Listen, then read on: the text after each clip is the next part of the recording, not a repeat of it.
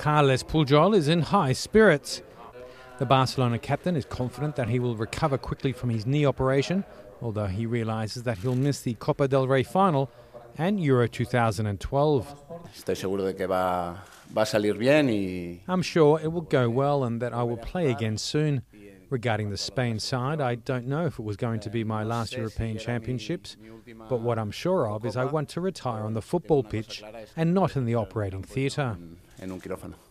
Although Puyol will miss the cup final and a trip to Poland and the Ukraine, he's confident of reaching an important milestone with his country.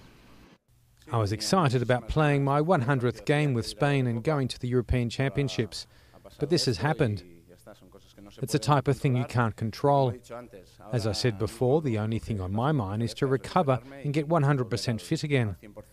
If I get the opportunity to play my 100th game, that would be great. Puyol will have arthroscopic surgery on his right knee on the 12th of May and is expecting to take six weeks to recover from the operation.